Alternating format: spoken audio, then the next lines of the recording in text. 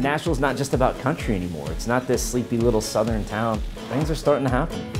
It's exciting because it's growing and it's drawing young and creative people from all over the country. The Nashville vibe is very much, let's try it, why not? And there's the, the feel of possibilities.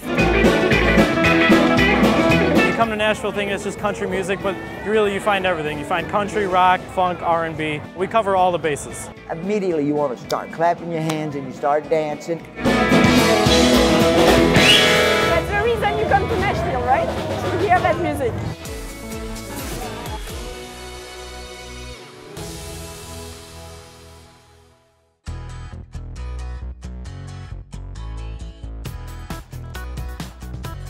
I think you see so many jeans in Nashville, other than hopefully because they come from here. you see them because Nashville is so casual and so unassuming. I think that culture has helped our business, and I hope, honestly, that our business has helped that culture. Third Man was started by Jack White and myself and Ben Blackwell, and what we wanted to create was sort of a headquarters where we could have a record store, a photo studio, a live room where you can record. They'll have live shows there and they'll immediately do a pressing, a record of the concert, which is great. You know what happens? You open the candy store and all the kids in town come to buy. So I, I discovered that rock and roll is were open for that.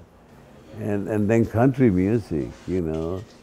I come from the animal world. The rooster has nice feathers. The lion has a great mane. You know, that kind of a thing.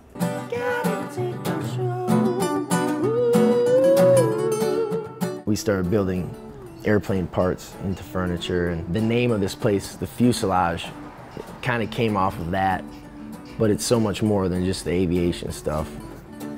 One of a kind, mantique, antique type place, and it has a live music angle as well, and so it's kind of a unique concept.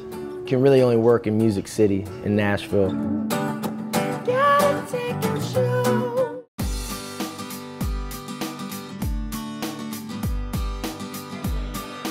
I just think Nashville's food culture is growing exponentially. Every, I feel like month, I hear about a new restaurant. We recognized that there was an openness for us to start strong relationships with farmers and slowly be a part of progressing a food scene as opposed to jumping into one that's already established.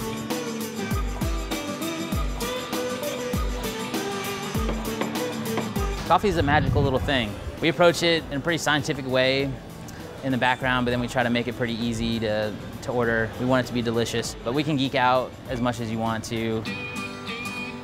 My favorite food in Nashville is the chicken tortilla soup at Mas Tacos.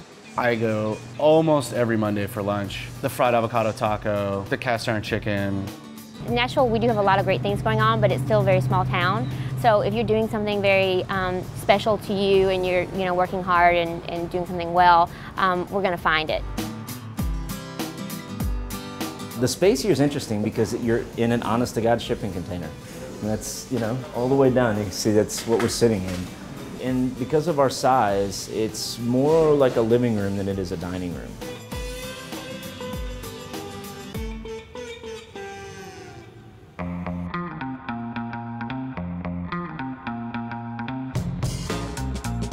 I think it's, it's really a living, breathing music culture here. The streets sound richer than the radios. The Ryman is the venue, not only that you want to play at if you're in a band, but it's one of the best rooms in the country to see a show. I've been to shows ranging from Grizzly Bear to David Byrne to Dave Chappelle. It's a near religious experience to see one of your favorite acts there. Ladies and gentlemen, welcome to Robert's Western World. The atmosphere is one of a good time and stepping back in time. It's about keeping traditional country music alive, having the tourists come in and the younger people come in to get an education on honky tonk. So a lot of the locals love that, so they come here.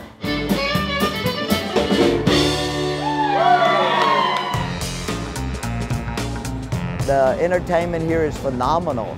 All over the whole city, you stand here and people walk down the street, they're amazed at hearing this beautiful music coming from all of the establishments, and it's phenomenal.